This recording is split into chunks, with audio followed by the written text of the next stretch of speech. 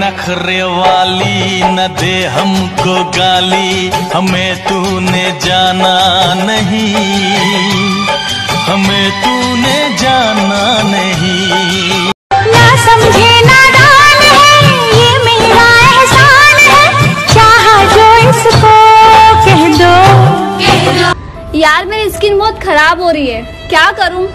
एक काम कर रोज दस ग्लास पानी पिया कर। स्किन बहुत अच्छी हो जाती है। लेकिन मेरे घर तो तीन ही ग्लास है।